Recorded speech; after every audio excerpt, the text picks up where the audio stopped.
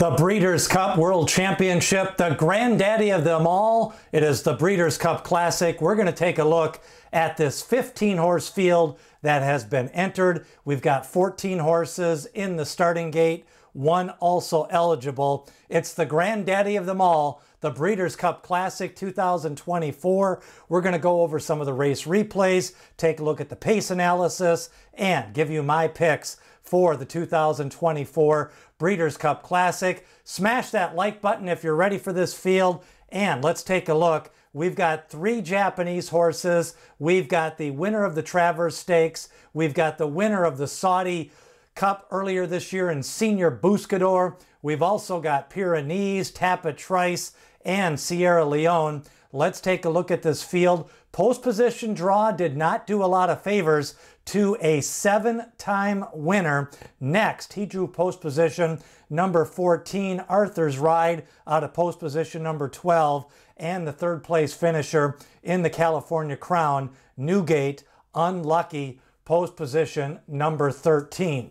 Let's start off with the race replays. Take a look at their best races. Starting off with Mixto. Now, he is a closer, 30 to 1 on the morning line. Let's go back to the Pacific Classic. He rolls down late down the middle of the track. Of course, Calumet Farm, they do well with long shots in these big races. Overall, Mixto is slowly improving.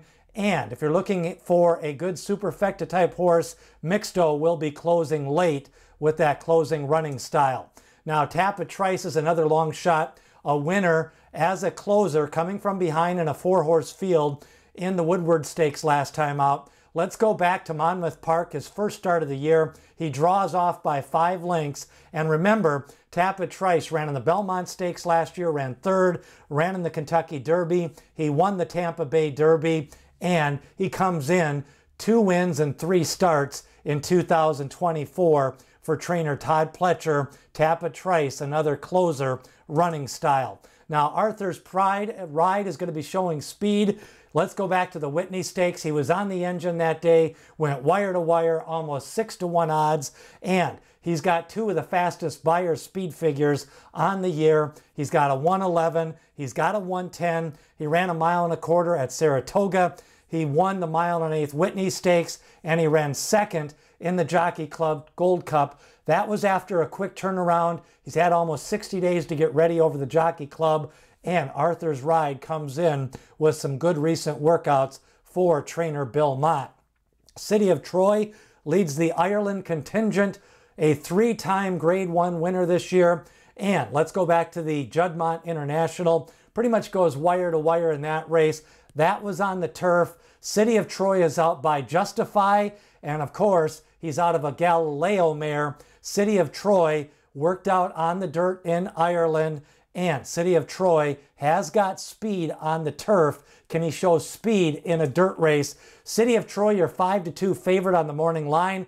Let's go back to the Eclipse Stakes on the turf. This one, he gutted out the win down the lane. I like the heart in this race. He's got kind of a turf running style, but they've been kind of pointing for this race all summer. So City of Troy trying to give Aidan O'Brien his first win in the Breeders' Cup Classic and Aidan O'Brien 0 for 17 so far in the Breeders' Cup Classic. Now, next rides in here with a seven gate race win streak, cuts back in distance, but the post position, number 14, that could do him in. Let's go back to Parx, the Greenwood Cup. He ends up winning by over nine lengths, comes from just off the pace that day, took over the lead with kind of slower fractions.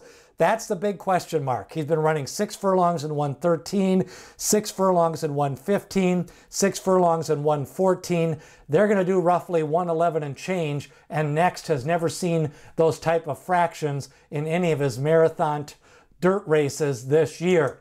Now, next, seven straight wins. He won the Greenwood Cup by 10, the Birdstone by 22, the Brooklyn by 9, the Murphy Marathon by 11. Next, a true marathon runner in the Breeders' Cup Classic. Now, Fierceness, you're three to one, second favorite on the morning line. He won the Florida Derby. He won the Travers Stakes. Let's take you back to that mid-race move in the Jim Dandy. Small field, but fierceness. A powerful move to the lead when the speed stopped on the turn.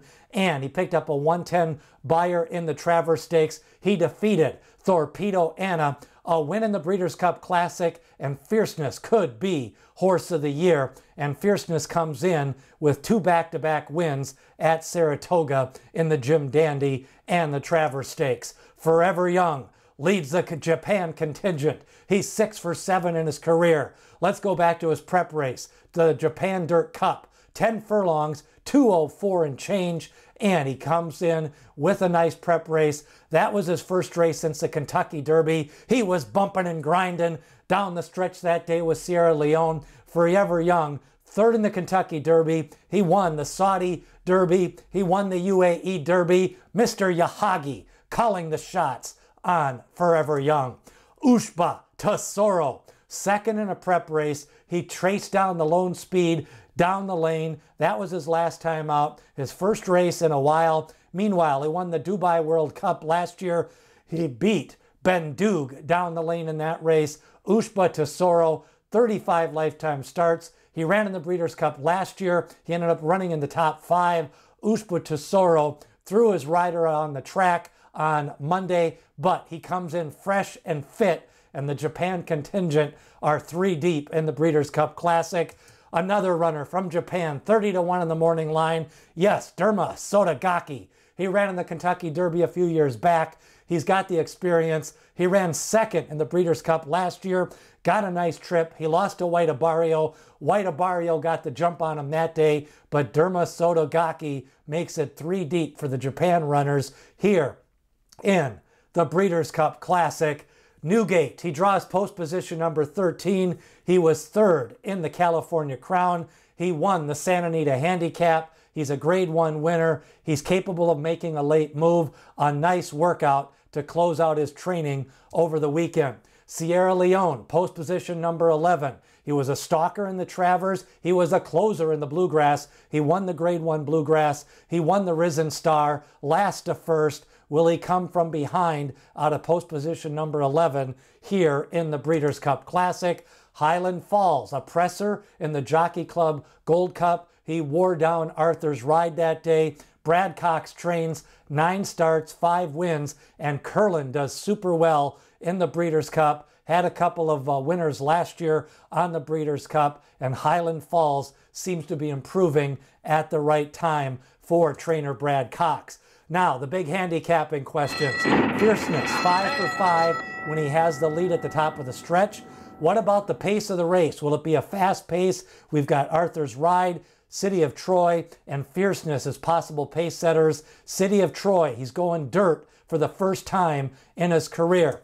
Other big questions. Next, post position number 14. What about 10 furlongs? Is that too short for him? Ushba Tesoro needs some pace, and Mixto goes up in class? Those are some of the big questions as you look at the past performances. Now, on paper, fierceness, five for five when he leads at the stretch call. Can he have the lead as they turn for home? Can he get that lead from City of Troy and Arthur's Ride? Now, Aidan O'Brien, he's 0 for 17 in the Breeders' Cup Classic. Do you want to play a horse at low odds at 5 to 2 with a trainer 0 for 17 in this race, and he's never run on the dirt?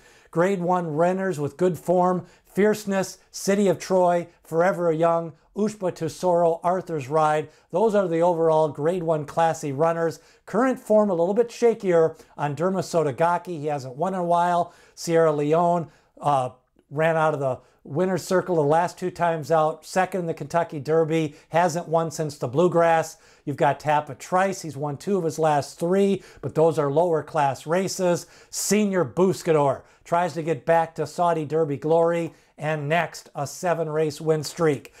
Early pace, Arthur's Ride, Fierceness, and City of Troy. Your presser, Highland Falls. Your closer, closers, Ushba Tesoro, Sierra Leone, Senor Buscador. Now, the win contenders. You could go with City of Troy, 5 to 2, grade 1 winner multiple times, uh, 6 for 7 wins lifetime.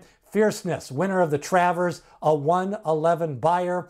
Ushba Tesoro, Dubai World Cup winner, Forever Young, six for seven, Sierra Leone, the Bluegrass winner. But my top selection in the Breeders' Cup Classic, I want a little bit of a price. I want the speed. I want Arthur's ride. Bill Mott been pointing for this race. He got some time off. He was pressured all the way around the track in the Jockey Club Gold Cup, but he did win the Whitney. I think he'll be 10 to 1. I'm going to play him in exactas over Forever Young, Ushba Tesoro, and Sierra Leone.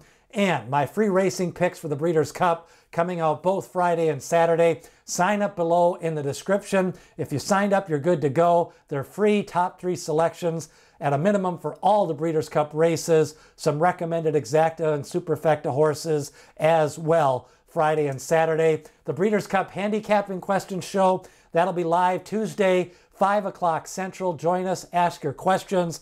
And we're also going to be taking a look at that Breeders' Cup Classic field. 14 horses entered in the gate. Rattle and roll, and also eligible. Who do you like in the Breeders' Cup Classic 2024? It's the granddaddy of them all. And it's going to be race number five on the card for the Breeders' Cup races on Saturday. Leave a comment, smash that like button, share with your friends. It's the Breeders' Cup Classic 2024. And remember, D. Lukas always says people have opinions, horses have the facts.